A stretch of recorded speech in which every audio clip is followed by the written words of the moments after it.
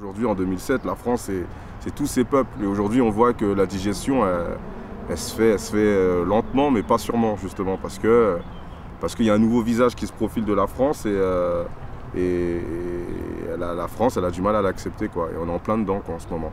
C'est vrai, today, je suis plus un clando à Paname. Tu veux me faire rappeler la Marseillaise, c'est que t'es pas né. Je serai toujours un blédard, même avec leur pas à plat. Avant de mourir, je veux réussir avec mon art. Donc je crois que le rôle du, hip-hop, justement, c'était vraiment essayer de relayer le message, mais le vrai message profond qu'il y a derrière tout ça, quoi. C'est-à-dire le fait que euh, la France ne nous accepte pas comme ses enfants, alors que, comme on te l'a dit déjà, on est né en France, on a grandi ici. Donc au bout d'un moment, ça suffit, quoi, euh, d'être au second plan.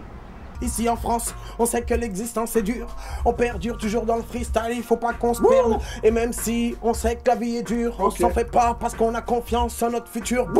Présent avec Abbas, on fait pas de magie, Black G aussi. C'est la colère, tu peux la maintenir, mais à un moment, la sagesse, elle peut plus rien faire. Donc à un moment, ce qui s'est passé, c'est qu'il y a la colère qui a débordé et ça, a créé cette émeute, quoi. J'ai la dalle, comme un jeune de Soweto.